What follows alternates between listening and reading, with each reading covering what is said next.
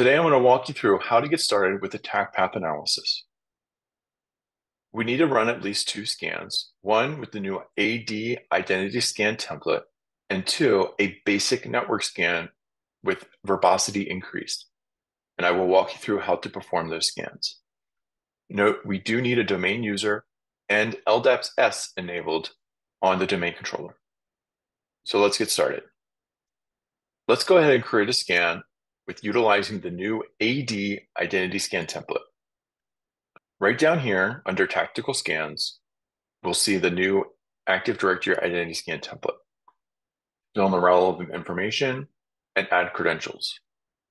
Once that is successful, we can run the scan.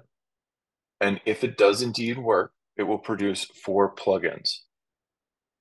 As we can see, we are able to collect the account information, group, computer, and trusted domain. We can actually jump into the output to validate the data collected. We can validate that it was successful. It will take a few hours to make its way from scan to attack path analysis. The other scan we'll need to run is a basic network scan. The basic network scan is needs to be run as a normal vulnerability scan. Under basic network scan, under report,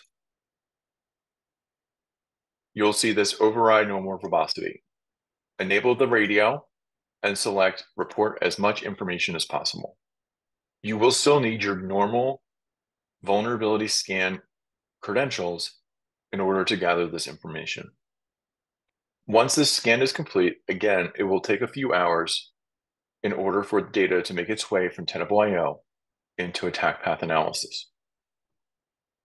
I highly recommend that you run the Active Directory Identity Scan on a daily schedule.